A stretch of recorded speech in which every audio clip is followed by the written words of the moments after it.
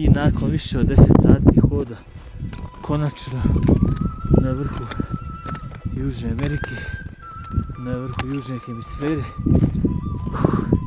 Šta reći?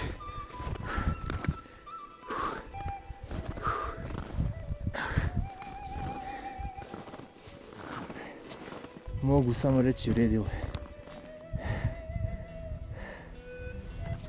Na vrhu nema vjetra puno, što je jako čudno.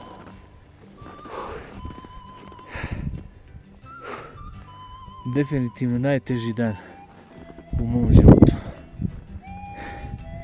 I najljepši.